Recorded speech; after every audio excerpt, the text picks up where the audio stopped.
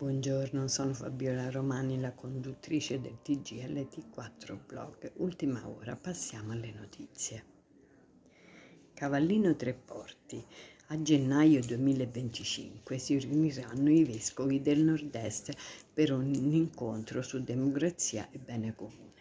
Il 7 e l'8 gennaio 2025 i vescovi del nord-est saranno a Cavallino Tre Porti per una due giorni dedicata ad approfondire le tematiche che riguardano la democrazia e la partecipazione dei cittadini alla vita pubblica e rapporto tra identità locali e livelli superiori, nazionale, europeo, mondiale, eccetera, in un'ottica di bene comune, sussidiarietà e solidarietà.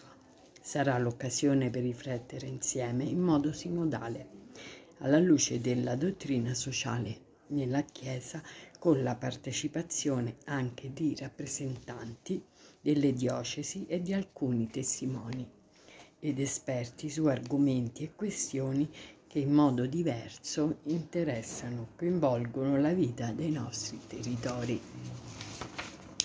Spiegano dalla conferenza episcopale Triveneto la conferma sull'appuntamento è arrivata ieri da Verona, dove i vescovi nord-est erano riuniti per una prima riflessione sugli esiti di una ricerca sul diaconato permanente nel Triveneto. Nella stessa riunione erano all'ordine del giorno anche un aggiornamento sul percorso in atto per il convegno catechistico regionale sul tema un annuncio che incontra la vita. Riscoprire il battesimo porta alla fede che vivrà il suo appuntamento finale il 28 settembre 2024 ad Aquileia, una comunicazione in vista della settimana di spiritualità.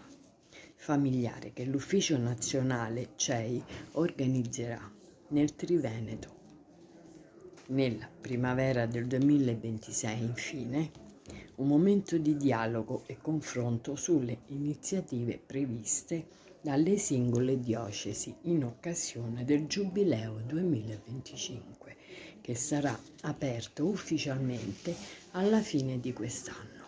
90.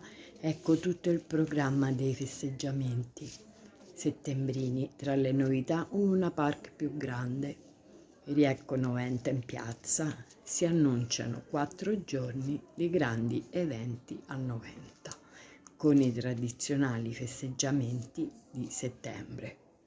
Si parte venerdì con l'apertura degli stand gastronomici e dal Luna Park alle 21 sul grande parco in piazza la serata anni 80 con la musica di Radio Company e le esibizioni di Sabrina Salerno e dei The Twins.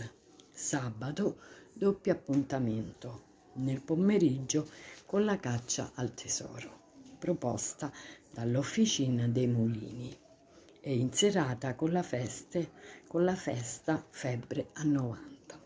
Domenica si annuncia una giornata piena di eventi alle 11 si terrà la consueta premiazione delle eccellenze noventane. Alle 17 spazio al 90 Groom Fest con l'esibizione di giovani band. In serata all'evento 90 italiana, lunedì sera, il gran finale con lo spettacolo di danza della scuola Laboratorio Musica e Danza e alle 22.30 lo spettacolo pirotecnico Ingolena. Novità di questa edizione è una migliore dislocazione logistica dell'evento è un, è un Luna Park più grande.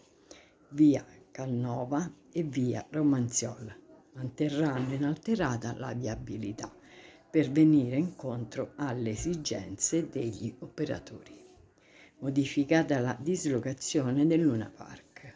Sarà mantenuta una prima area, giostre tra piazza Vittorio Emanuele, via Roma, via Piave. La novità è la secondaria giostre nella zona degli impianti sportivi. Abbiamo spostato le giostre per i ragazzi più grandi dalla zona alberghi alle scuole.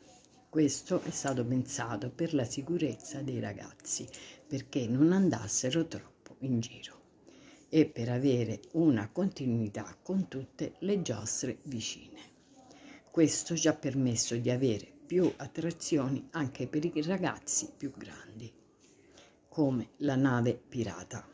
Sappiamo che questa dislocazione creerà qualche disguido perché non sarà possibile utilizzare il parcheggio dello stadio, ma sono a disposizione i parcheggi alternativi, zona Eurospar e zona alberghi. Abbiamo voluto creare anche meno problemi mantenendo aperta via Romanziol, dice il sindaco Claudio Marianna, piazza Vittorio Emanuele, fino a via Roma rimarrà chiusa da domani fino a martedì all'ora di pranzo con deviazione verso via Guaiane. TG finisce qui. Io vi ringrazio di avermi seguito, ci vediamo alla prossima. Un bacio da Fabiola Romani.